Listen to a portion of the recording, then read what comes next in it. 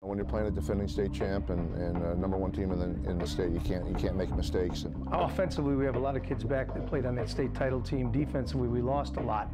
And the biggest question we had going into the year, okay, well, how do we get these younger kids to buy into the type of success that we had last year. We, we have to play a very, very good game. And last year when we approached this game, uh, we sort of had the Lincoln Way East turn, uh, hangover. Uh, you know, we sort of slept walk through the first half and then sort of made it the game the second half. And we, we won't be able to afford to do that uh, tonight. If we play mistake-free and our kids fly to the ball like we know they can and we keep hold of the ball, I think we'll come out on top. Has some time, doesn't have anybody open. Real dangerous. Touchdown. Welcome to the CN 100 Game of the Week as we come to you tonight from Bolingbrook High School, where it's the undefeated Raiders defending Class 8A state champions of Bolingbrook against the 3 and 1 Vikings from Homewood Flossmoor. Good evening, everybody, as we welcome you to the broadcast my name is Wayne Randazzo, alongside former Northwestern running back Don Johnson. And Don, two heavy hitters tonight from the Southwest Suburban Blue. Yeah, both these teams know each other very well in conference play, but tonight is an opportunity uh, for uh, Homewood Flossmoor to come in here. They're pretty hungry. They're coming off a game where they think they can come in here and compete with uh, uh with the Vikings. Yeah. Homewood Flossmoor has won its first three games, but last week a loss to Lincoln Way East, and Don, a loss you feel like they needed. It Well, the Lincoln Way East game, I think, is a preparation for this game, really. Teaches them the pre preparation and be ready for a tough game. They've had three tough games. And, and, on the other side of the ledger, I don't think Bolingbrook has been in a tough game this season. They haven't been tested in a while. The defending state champs, a perfect 4 0 with four convincing wins. Yeah, well, you know, the thing is, the state champ comes in with a lot of confidence. And of course, they've got a lot of weapons offensively and a retooled defense that we're going to see here today. Bailey has kept the ball twice and has picked up 20 yards.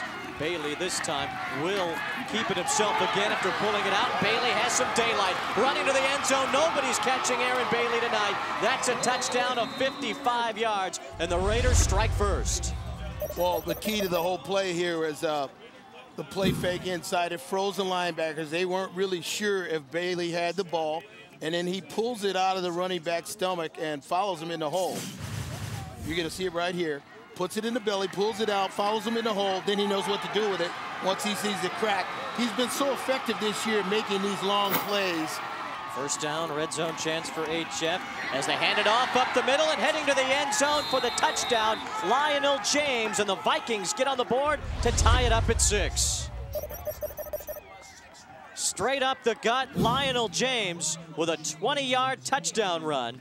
And after Bolingbrook scores on their opening drive, the Vikings answer right back. So Lionel just comes in here, goes right up the guard gap, and then nothing but daylight there, and he knows where the end zone is.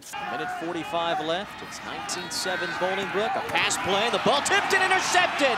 Heading for the end zone. Bernard Flowers with Gooch behind him, and Gooch pulls him down. But Flowers, after the deflection, picks it off and runs it up the field deep into Bolingbrook, rather into HF territory. I believe the defensive end got his hand up on the play that made this interception possible. You're going to see it. He's reading the quarterback's eyes, gets his hands up, blocks it, and then a heads-up play here. And then he just takes off running. A great job here, Bernard Flowers, creating turnover situation. Jamal Anderson, you know that Dirty Bird dance by heart, don't you, Don? Oh, yeah.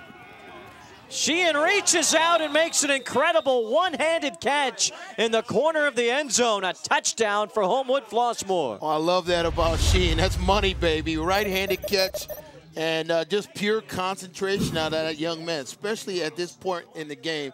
You can tell that's a guy that battles. Watch this, a right-handed catch, puts the ball over the right shoulder on the fade. Oh, yeah. Gotta love it.